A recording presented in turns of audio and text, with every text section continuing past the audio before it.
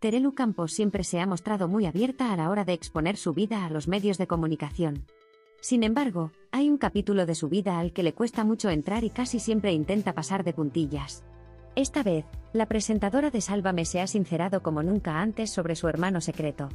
A través de su blog de lecturas, la hija de María Teresa Campos se ha sincerado como nunca antes y ha contado toda la cruda realidad. Terelu Campos ha arrojado un poco de luz sobre este tema. La presentadora ha revelado incluso cómo fue el momento exacto en el que fueron presentados y se conocieron. Para Terelu Campos no habrá sido nada sencillo enfrentarse a este pasaje de su vida, aunque no cabe duda de que habrá sido muy liberador. La historia de Terelu Campos y su hermano recuerda, y mucho, a lo que está viviendo Anabel Pantoja con Pinocho. El supuesto hijo de Bernardo Pantoja se sentaba el pasado fin de semana en el Deluxe para afirmar con contundencia que era hermano de Anabel Pantoja. Terelu Campos puede llegar a entender muy bien el batiburrillo de sentimientos que estará atravesando la influencer con este tema, ya que ella ya lo vivió en sus propias carnes. Tanto para Terelu como para Carmen, este nunca ha sido un tema sencillo de tratar. La presentadora de Sálvame siempre ha intentado por todos los medios esquivar este tema cuando ha sido preguntada. Pero el momento de afrontar la realidad ha llegado, Terelu ha cogido fuerzas y lo ha contado todo. La madre de Alejandra Rubio se ha enfrentado a uno de los capítulos más complicados de toda su vida, y que sacudió su familia hace años. Sus palabras en lecturas revelan la cruda realidad sobre la historia de su hermano secreto.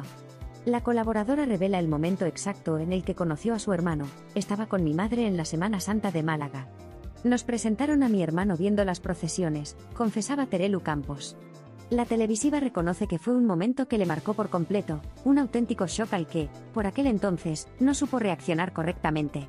Sin embargo, ahora, con el paso del tiempo, Terelu reconoce la nueva postura que ha tomado. Los hijos tenemos que contribuir a restituir lo que nuestros padres han podido hacer mal en un momento de su vida, confiesa la presentadora. Las dos hijas de María Teresa Campos siempre han sido muy cautelosas a la hora de hablar de él, y de la relación que tienen con su hermano. Sin embargo, en las pocas veces que han hablado de él, las dos televisivas han reconocido que sí tienen relación con él. Ni él nos echó nada en cara, ni nosotras a él. Empezamos una relación bonita, confesaba Carmen en Sálvame hace unas semanas.